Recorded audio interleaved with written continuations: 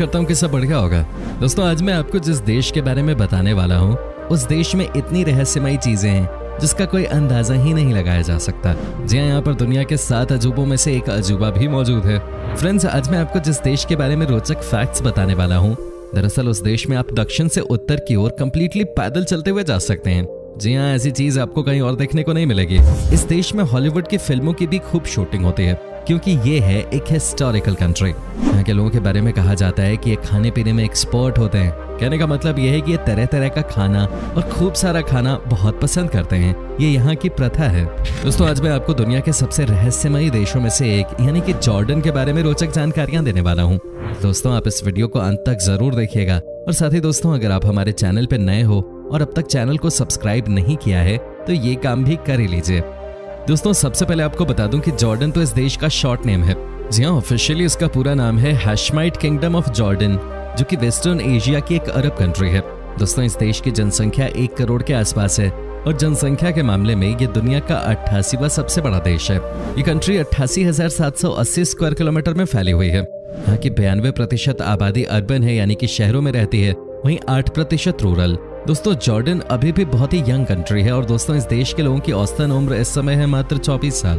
Well दोस्तों, ये दक्षिण पश्चिम एशिया में अकाबा खाड़ी के दक्षिण में सीरियाई मरुस्थल के दक्षिणी भाग में स्थित एक अरब देश है, जिसके उत्तर में सीरिया, उत्तर पूर्व में इराक, पश्चिम में इसराइल और पूर्व और दक्षिण में सऊदी अरब जैसे देश हैं। वैसे तो ये देश कुल नवासी वर्ग किलोमीटर में फैला हुआ है, लेकिन इसका ज़्यादातर हिस्सा रेगिस्तान से घिरा हुआ है। दोस्तों, आपको बता दें कि जॉर्डन का इतिहास बहुत लंबा है। जी हाँ यहाँ पर आपको कई सारे हिस्टोरिकल चीज़ें देखने को मिल जाती हैं। कहते हैं कि यहाँ की संस्कृति का ज़िक्र बाइबल तक में किया गया है। आप इसी बात से अंदाज़ा लगा सकते हैं कि ये देश कितना पुराना है। यहाँ पर आपको हर शहर में कुछ ऐसी चीज़ें मिल जाती हैं देखने के लिए, जो आपको हज़ारों साल पीछे ले जाती हैं। उनके बारे में सोचने पर मजबूर करती हैं। दोस्तों, कई अनेक कारणों की वजह से इस देश में टूरिज़्म ज़्यादा नहीं है, लेकिन आपको बता दूँ कि जो लोग इस देश की यात्रा करके आ चुके हैं और यहाँ पर ठंड के मौसम में कुछ समय बिता कर आए हैं। उनसे पूछिए इस देश के बारे में।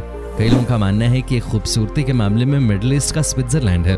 दोस्तों, इस देश में नेचुरल ब्यूटी का भंडार है। यहाँ पर रेगिस्तान तो है ही। रात में वैसे भी ठंड रहती है। साथ ही यहाँ पे पहाड़ी एरियाज़ भी हैं, जहाँ आपको बहुत ही सुंदर नज़ारे देखने को मिलते हैं। दोस्तों, कई लोगों के मन में ये सवाल उठता है कि क्या जॉर्डन एक सेफ़ कंट्री है भी या नहीं? क्योंकि चारों तरफ़ से जिस जिस तरह की कंट्री से घिरा हुआ है और जो यहाँ का पास्ट रिकॉर्ड रहा है, उसे देखकर कई लोग डरते हैं इस देश की यात्रा करने से। लेकिन आपको बता दूँ कि जॉर्डन पूरी तरह से एक सुरक्षित कंट्री है। हाँ यहाँ आपको कई अन्य देशों के मुकाबले थोड़ा ज़्यादा सतर्क रहने की ज़रूरत है, क्योंकि दोस्तों यहाँ पे सबसे ज़्यादा दुर्घटनाएँ तब होती हैं जब आप टैक्सी सर्विस लेते हैं। हालाँकि यहाँ इसको लेकर प्रशासन काम पे लगी है। दोस्तों, जॉर्डन एक इस्लामिक देश है। यहाँ पर तिरानवे प्रतिशत सुन्नी मुसलमान, छह प्रतिशत ईसाई और महज एक प्रतिशत बाकी धर्म के लोग रहते हैं। यहाँ पर आपको हर जगह मदरसे दिख जाते हैं। यहाँ के लोग बाकी इस्लामिक कंट्रीज़ की तरह ही अपने धर्म को लेकर बहुत इमोशनल होते हैं। यहाँ के ज़्यादातर सुन्नी मुसलमानों को अपने धर्म के बारे में अच्छी खासी जानकारी होती है और वो इसे एक्सप्लेन भी बहुत अच्छे से करते हैं। दोस्तों, आपको बता दूँ कि जॉर्डन में फ़िलहाल किंग अब्दुल्ला द्वितीय का शासन है। जी हाँ यहाँ पर शुरू से ही इस परिवार का शासन रहा है। यहाँ के लोगों के मन में अपने किंग को लेकर बहुत इज़्ज़त है। यहाँ पर एक पत्ता भी बिना किंग के निर्देशों के नहीं हिलता। जी हाँ कहने का मतलब साफ़ है कि यहाँ पर किंग ही सब कुछ है। जो यहाँ का किंग चाहे वही यहाँ का नियम बन जाता है। किंग अब्दुल्ला द्वितीय ने 7 फरवरी उन्नीस सौ निन्यानवे को यहाँ शासन अपने हाथों में लिया था। दोस्तों, जॉर्डन में दुनिया के सात नए अजूबों में से एक पेट्रा मौजूद है, जो यूनेस्को के विश्व धरोहर स्थल की सूची में शामिल है।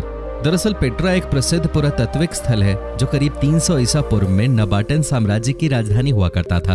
दोस्तों, जॉर्डन देश की राजधानी है अम्मान, जो दुनिया के सबसे पुराने शहरों में से एक है। कहा जाता है कि यहाँ पर थर्टीन सेंचुरी बीसी से ही लोग रहते आए हैं। आज भी इस शहर में आपको एक से बढ़कर एक पुराने जमाने की चीज़ें देखने को मिल जाती हैं। आज भी हर दिन यहाँ पर आर्कोलॉजिकल डिपार्टमेंट के लोग आपको काम करते हुए दिख जाएँगे। यहाँ का इतिहास बहुत पुराना है और उसकी छाप आपको इस देश पर साफ़ साफ़ पड़ती हुए दिखाई देगी। जी हाँ दोस्तों, यहाँ के पुराने बिल्डिंग्स यहाँ के महल सब कुछ देखने के बाद आपको लगेगा कि वाकई में ये बहुत ही हिस्टोरिकल सटे है। दोस्तों, अगर आपको एडवेंचर पसंद है, अगर आपको कुछ नया एक्सपीरियंस करने का शौक है तो ये डेस्टिनेशन आपके लिए ही है। जो लोग जॉर्डन जाते हैं, उनके मन में कहीं ना कहीं ये विचार ज़रूर होता है कि क्यों ना इस देश को पैदल चलते हुए एक्सप्लोर किया जाए। जी आपने सही सुना, देश को पैदल चलते हुए एक्सप्लोर करना। आपको बता दें कि जॉर्डन ट्रेल एक ऐसा रोड है जिसकी मदद से आप इस देश को वॉक करते हुए नज़दीक से जान सकते हैं। जी आप जॉर्डन ट्रेल की मदद से नॉर्थ से साउथ 421 माइल की जर्नी पैदल तय कर सकते हैं। कई लोग ऐसे होते हैं जो कि इस यात्रा पर निकलते हैं। कहा जाता है कि यात्रा 40 दिनों की होती है और यहाँ के कई सारे लोकल और बाहर से आए टूरिस्ट भी पैदल ही इस देश को समझने के लिए निकल पड़ते हैं। दोस्तों, आपको जानकर हैरानी होगी कि हॉलीवुड के लिए जॉर्डन पसंदीदा जगहों में से एक है। जी हाँ यहाँ पर कई सारी हॉलीवुड फ़िल्मों की शूटिंग हुई है। कहते हैं कि यहाँ के लोकेशन का बैकड्रॉप बनाकर हॉलीवुड फ़िल्मों में दिखाया जाता है। क्या बात है? वैसे यहाँ के लोकेशन हैं भी फ़िल्मों के लायक हैं। फ्रेंड्स जॉर्डन देश की राजधानी अम्मान की बात सबसे अलग है। आपको बता दूँ कि यहाँ पर कुल देश का 40 प्रतिशत हिस्सा रहता है। जी हाँ यानी कि 40 लाख लोग से ज़्यादा लोग इस शहर में रहते हैं। यहाँ का नज़ारा देखकर आपको लगेगा कि क्या शानदार तरीके से इतने सारे लोग इस खूबसूरत से शहर में बसे हुए हैं। यहाँ पर कहीं भी आपको अनप्लैंड हाउसिंग सोसाइटीज नज़र नहीं आएँगी, क्योंकि ये ऐतिहासिक शहर है, इसलिए यहाँ पर सब कुछ वेल प्लान है। दोस्तों, आपको ये भी बता दूँ कि जॉर्डन के लोगों के बारे में कहा जाता है कि यहाँ की जनता खाने पीने के मामले में किसी भी देश से आगे है। जहाँ ये बात भी सच है। यहाँ पर आपको एक से बढ़कर एक टेस्टी चीज़ें खाने को मिल जाती हैं। लोग यहाँ पर मेनली नॉनवेज खाते हैं। लेकिन सबसे अच्छी बात यह है कि यहाँ के लोगों का डाइजेस्टिव सिस्टम बहुत अच्छा माना जाता है। क्योंकि सबसे ज़्यादा खाने वाले देशों में जॉर्डन शामिल है। तो अच्छी बात है कि यहाँ के लोगों को पचाने की भी अच्छी आदत है। वेल फ्रेंड्स जब खाने को पचाने की बारी आती है तो जॉर्डन के लोग ग्रीन टी का सेवन करते हैं। जी हाँ जॉर्डन में ग्रीन टी का सेवन खूब किया जाता है, जो कि बहुत ही अच्छी बात है। यहाँ पर डिनर के बाद लोग नॉर्मली ग्रीन टी पीते ही पीते हैं। जो ग्रीन टी नहीं पीते वो गर्म पानी का सेवन करते हैं। ये सब यहाँ के डेली रूटीन में शामिल है।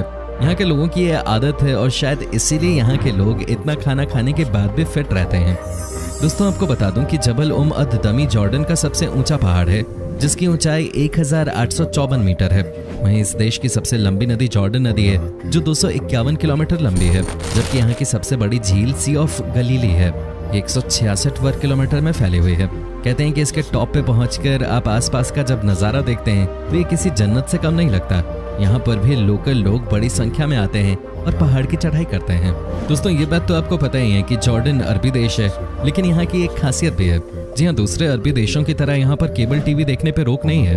यहाँ के लोग अलग अलग तरह के चैनल देख सकते हैं। यहाँ पर आपको दो ही भाषाओं में चैनल मिलते हैं और वो भाषाएँ हैं लोकल अरबी और ग्लोबल इंग्लिश। हालाँकि यहाँ की ऑफिशियल भाषा अरबी है, लेकिन आपको बता दें कि यहाँ के लोग इंग्लिश समझ भी लेते हैं और ठीक ठाक बोल भी लेते हैं। ऐसे में अगर आप कभी जॉर्डन जाएँगे तो कम्युनिकेशन में आपको ज़्यादा परेशानी नहीं आएगी। फ्रेंड्स जॉर्डन के रेगिस्तान में कुछ रहस्यमयी और विशाल आकृतियाँ बनी हुई हैं, जो सीरिया से लेकर जॉर्डन और सऊदी अरब तक फैली हुई हैं। इन रहस्यमयी आकृतियों को अजराक ओएसिस व्हील कहा जाता है। माना जाता है कि इन आकृतियों को करीब पचासी सौ साल पहले बनाया गया होगा। हालाँकि इसके बारे में कोई पुख्ता प्रमाण मौजूद नहीं है। इन्हें क्यों बनाया गया था, ये भी किसी को नहीं पता। इस टॉपिक पर कई सालों से रिसर्च किया जा रहा है। और आज भी इसके पीछे के रहस्य के बारे में जानकारी हासिल करने की कोशिश की जा रही है, लेकिन कुछ भी हाथ नहीं लगा है। हालाँकि कई सारे लोकल लोगों का कहना है कि ये साइन किसी और प्लेनेट के लोगों को दुनिया में अट्रैक्ट करने के लिए बनाया गया था। इस बात में कितनी सच्चाई है, ये किसी को नहीं पता। इस साइन को लेकर हर किसी की अपनी अलग ही थियोरी है। दोस्तों, आपको बता दूँ कि जॉर्डन के लोगों के बारे में कहा जाता है कि ये इमोशनल फूल्स नहीं होते हैं। जी हाँ यहाँ पर आपको कोई भी बहुत प्यार से बात करता हुआ नहीं दिखेगा। कहते हैं यहाँ के लोगों का ये बेसिक नेचर ही होता है कि वो किसी की लाइफ में बहुत ज़्यादा ना तो झांकते हैं और नहीं वो अलाउ करते हैं कि वो अपनी राय उनके बारे में दें। हालाँकि कई लोग जो बाहरी देशों से यहाँ आते हैं, उनको इस बात को लेकर नाराज़गी रहती है शुरू में, क्योंकि आपको लगता है शायद ये लोग एरोगेंट हैं, लेकिन बाद में पता चलता है कि ये यहाँ के लोगों का नेचर ही है, जो कि अपनी जगह ठीक है। अच्छी बात है, ना तो किसी को परेशान करना है और नहीं परेशान होना है। अच्छी सोच है।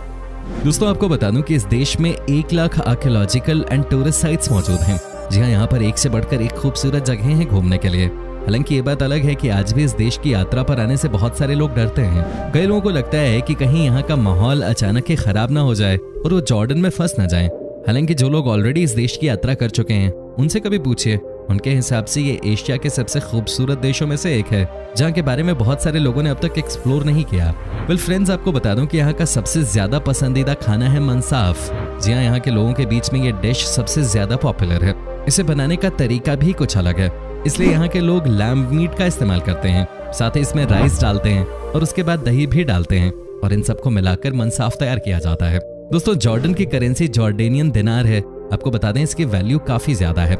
एक जॉर्डेनियन दिनार लगभग 103 भारतीय रुपयों के बराबर होता है। दोस्तों, अंत में आपको बता दूँ कि यहाँ की कैपिटल सिटी यानी कि अम्मान की शाम बहुत नशीली होती है। जी हाँ यहाँ पर शाम होते ही ज़्यादातर लोग आपको बार में नज़र आएँगे और यहाँ के लोगों के बीच में पीने का शौक बहुत ज़्यादा है। तो दोस्तों, ये था जॉर्डन कैसा लगा हमें कमेंट करके ज़रूर बताएँ। क्या आप कभी इस देश गए हैं और अगर गए हैं तो आपका एक्सपीरियंस कैसा रहा?